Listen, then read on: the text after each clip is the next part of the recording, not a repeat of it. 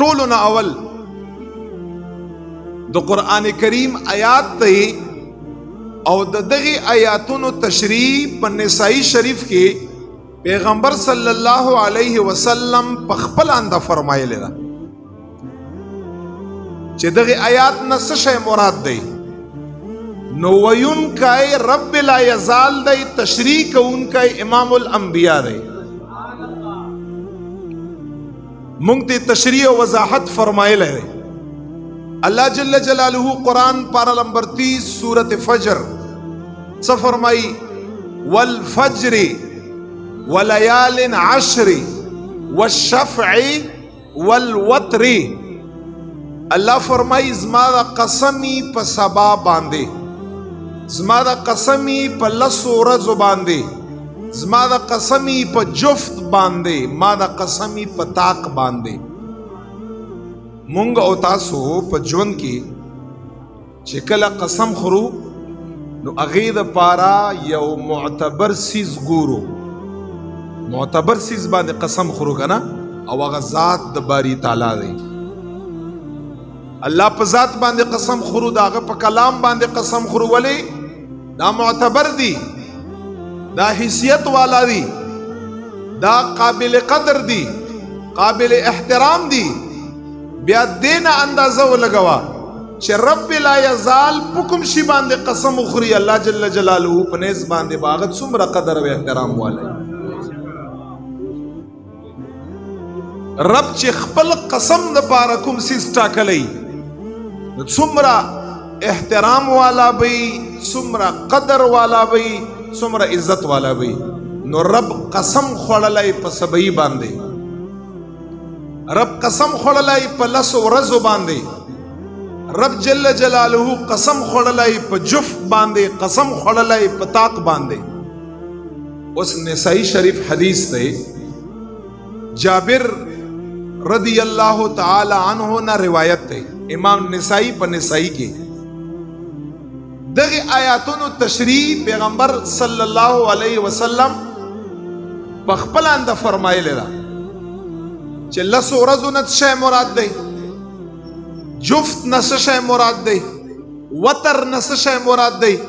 نو جابر رضی الله تعالی عنہ حدیث روایت کړی دی نو جابر فرمایي چې قال قال رسول الله صلی الله علیه وسلم نبی علیہ الصلات والسلام مبارک او فرمایل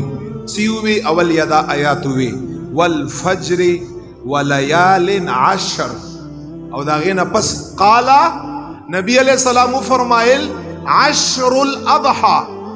دا یې تفسیر وکړ دا یې وضاحت وکړ خپل اند نبی علیہ السلام د لیال عشر لیال عشر نه څه مراد دی نبی علیہ السلام یې حدیث کې تفسیر وکړ عشر الاضحى د لوی اختر د میاشتې اولنې لس ورځې دا کومې چې روانې دي دا تر مراد دي یعنی دا دومره فضیلت والا ورځې دي چې رب لا یزال قسم په خوړلی دی چې زما د قسمی د ذوالحجې د میاشتې د اولنۍ چې کومې لس ورځې دي په هغې باندې قسم خورم الله فرمایي او نبی علیه السلام یې په خپل حدیث کې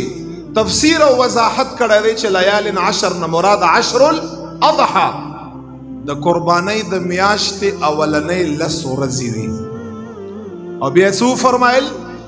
جابر څه فرمایي رضی الله عنه چې نبی علیه السلام و فرمایل والوتر چې الله ویلي چې ما د قسمی په طاق باندې نبی علیه الصلاۃ والسلام یې وضاحت وکړ وتر نه طاق نه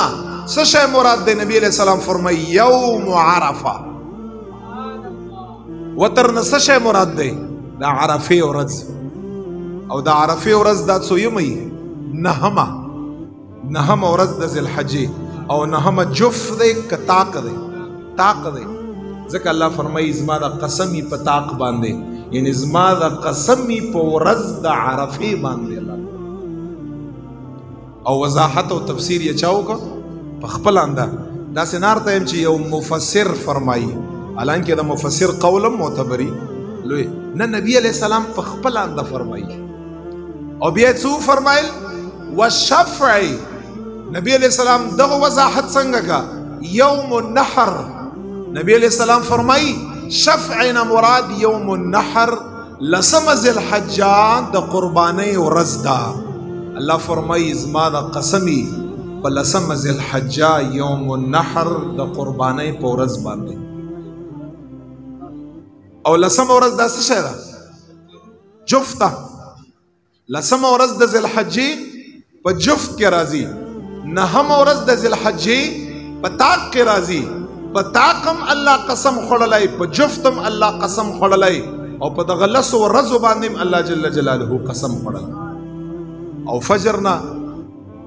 چې والفجر عبد الله ابن عباس فرمایي چې فجر نه مراد د لوی اختر سبعی دی زما د قسمی د لوی اختر په سبعی باندې الله فرمایي